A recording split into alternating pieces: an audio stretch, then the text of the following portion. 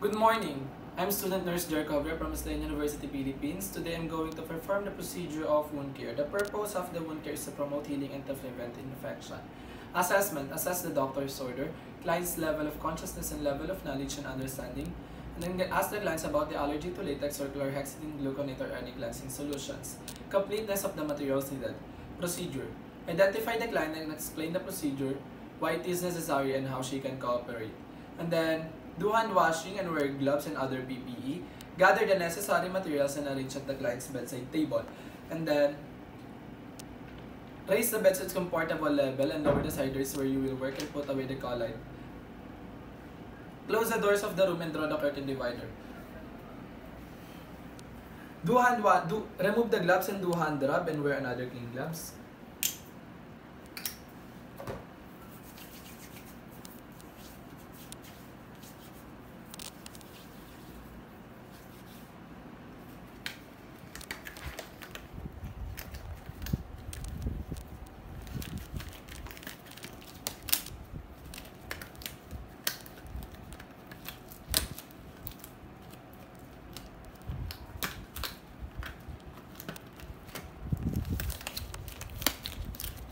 Remove the dressing and place in appropriate receptacle.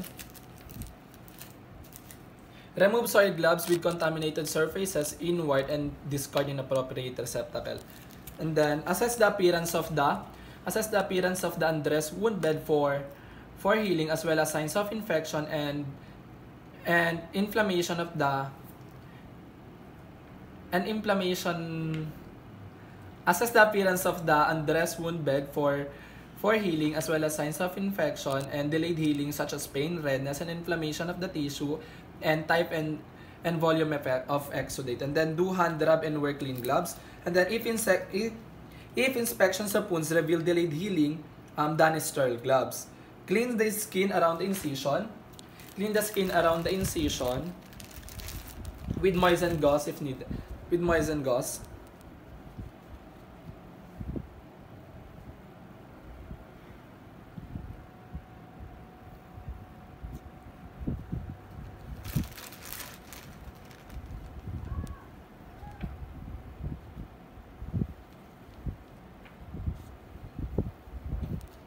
Cleanse the incision.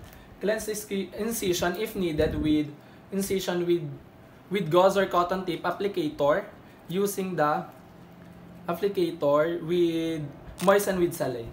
With moisten with saline.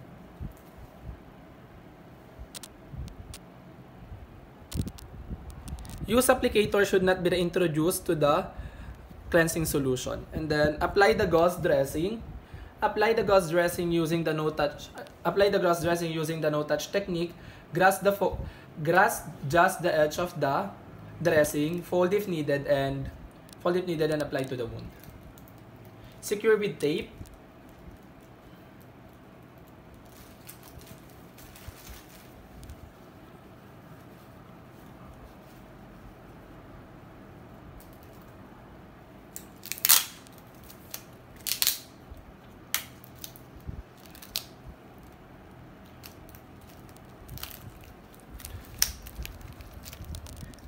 Optional, an abdominal pad may be applied over the gauze dressing if needed. And then, lower the bed, raise the side rails, and put the call light within the client's reach. And then, dispose all soiled dressing according to hospital policy. And then, rearrange the reusable, rearrange the reusable materials in its proper places. And then, conduct client family education about the dressing, about the dressing and which may be which may include the, the which may include the dressing technique the dressing technique into the client and family. And then um, remove gloves and other PPE and dis dispose properly and do hand washing. And then document the procedure and important findings in the client's chart refer any abnormal findings into the into the into the attending physician that's all. Thank you